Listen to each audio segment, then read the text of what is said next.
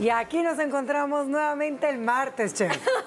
El, martes, hoy sí de está confirmado. confirmado.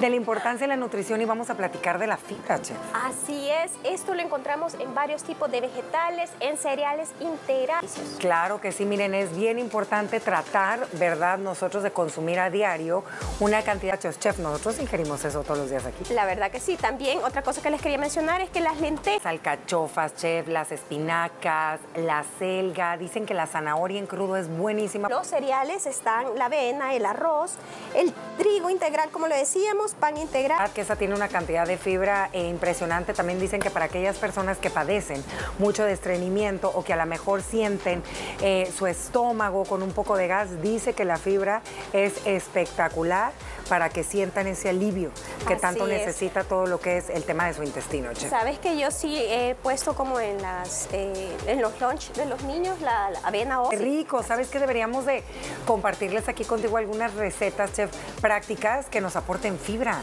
ricas, porque a veces uno dice fibra y como que uno cree que es aquel polvito que uno se tiene que, estar tomando y no es así, hay tantas, eh, tantos alimentos que nos lo aportan tan ricos. Así es, ¿qué te parece si después de esto que ya les enseñamos los beneficios nos vamos con Gina?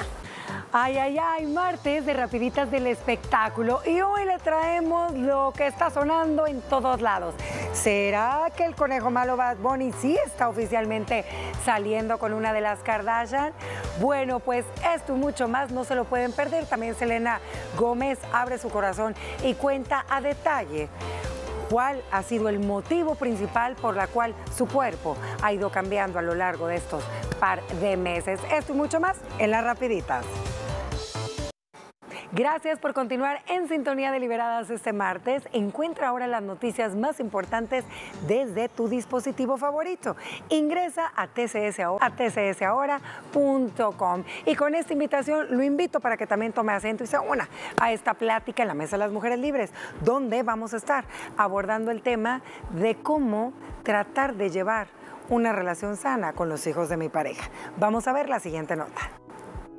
Moni y Jean es un tema que no les voy a mentir, hemos estado platicando y abordando desde el camerino con él porque hay muchísimo eh, material y muchísima información para compartirles a todos ustedes y hacerles la invitación eh, que nos escriban su historia a través de nuestras redes sociales. Sabemos que cada relación de hijos, familia política, todo. Relación como tal, ¿me entiendes? A aceptar, lo me entiendes a la mejor y tú estás tan emocionada por, por querer pues entablar aquella conexión con aquellos niños, pero hay que ir paso a paso.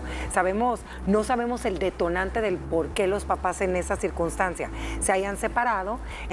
Hay que ir poco a poco para sabértelo. Incluirlos, pero con otra gente, en ambientes neutros. En actividades que ellos les gusten, como un parque básico. autoridad dicen que sí es bien importante que, que ponen las reglas, los que ponen las normas y los que se encargan del tema de la educación son papá y mamá, no tú como pareja.